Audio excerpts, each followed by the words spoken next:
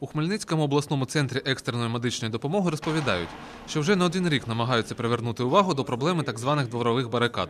Медики кажуть, мешканці багатьох домів, особливо новобудов, перегороджують дороги всіма можливими підручними засобами. В хід ідуть бетонні блоки, старі шини, повалені ліхтареві стовпи тощо.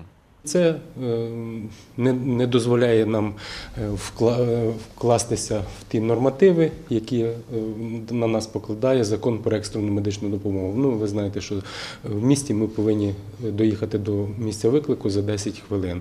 В той час, коли відлік іде на секунди, лікарі змушені витрачати час на те, аби дістатись під'їзду.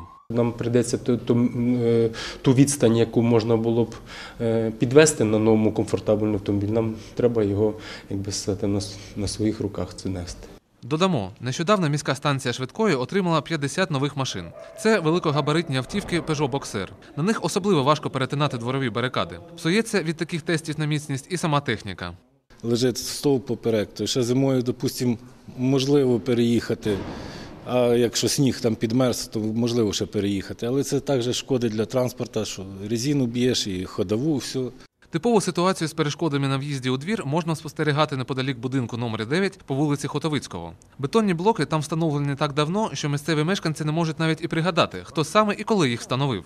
Але проблем від цих споруд у людей було чимало, зокрема і під час виклику швидкої. Як звідти виживає, то вона їде кругом.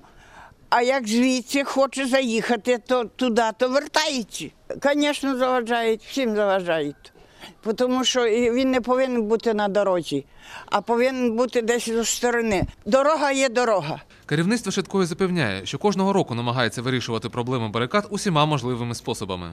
Ми пишемо листи на е, житлово-експлуатаційні контори, е, на, ну, ті е, в інстанції, які можуть вплинути на той стан цієї ситуації, яка виникла. Деколи нам вдається, але е, поки що ще існують ці бордюри і е, блоки, і перегоражують і продовжують. Медики швидкої обіцяють, що й надалі намагатимуться вирішувати цю, як здається, вже вічну проблему. Також радять мешканцям забарикадованих дворів не чекати, а звертатися до комунальників, щоб ті прибрали споруди з блоків та шин. Журналісти Поділля Центр будуть стежити за ситуацією та незабаром повідомлять, чи зменшується у Хмельницькому кількість дворових барикад, а чи ситуація і далі не рушить з місця. Кирило Фільчаков, Віктор Кривий для інформаційного випуску.